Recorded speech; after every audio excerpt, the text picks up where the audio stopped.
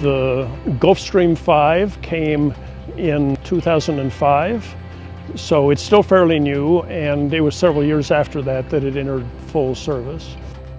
Aircraft are a very important part of this lower atmospheric observing facilities because they provide unique capabilities to the scientists that are otherwise would not be available.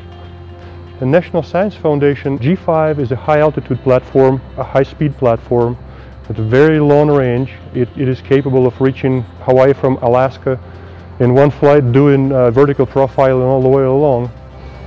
That opens up to the community studies of the upper troposphere, lower stratosphere, a range of problems that we couldn't study before. They include studies of atmospheric chemistry, formation of hurricanes, the global carbon cycle. The instruments for this plane are special. There's a lot of trace gas measurements. There's some remote sensors, remote sensors for temperature and a LiDAR.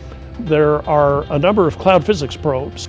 Users who want to use these instruments have access to them and in many cases have access to the people who built them who will assist them in the, the studies.